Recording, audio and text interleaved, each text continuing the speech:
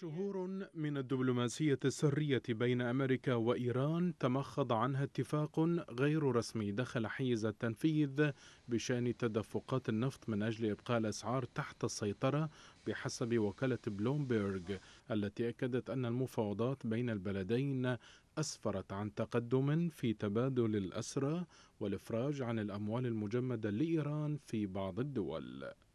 الوكالة الأمريكية أشارت إلى أن المسؤولين الأمريكيين يعترفون سرا بأنهم خففوا تدريجيا بعض العقوبات المفروضة على مبيعات النفط الإيراني مؤكدة أن طهران عادت إنتاجها إلى أعلى مستوى منذ بدء الحظر قبل خمس سنوات.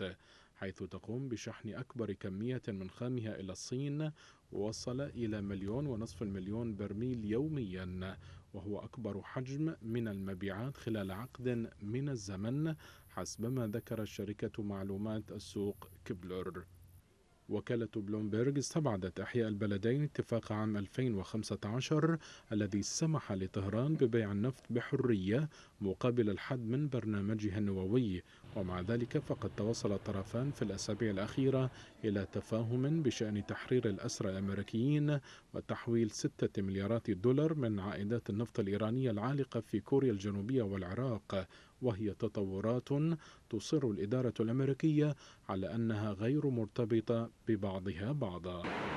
شركة السلع العالمية في نيويورك أكدت أن واشنطن تعتمد لعبة دبلوماسية الطاقة التقليدية التي تتمثل في عقد الصفقات للحصول على براميل نفط إضافية في السوق من أجل السيطرة على الأسعار. مضيفة أن المصالح الاقتصادية الأمريكية والإيرانية تتماشى حينما يتعلق الأمر بالمزيد من براميل النفط المتاحة للبيع. هو إذا تلاق للمصالح ما بين واشنطن وطهران. يثبت بوضوح أن هناك تخادما وراء الكواليس وخلف تلك الحرب الإعلامية والاتهامات المتبادلة بين البلدين حتى لو كان هذا الاتفاق على حساب مصالح دول المنطقة والعالم بأسره.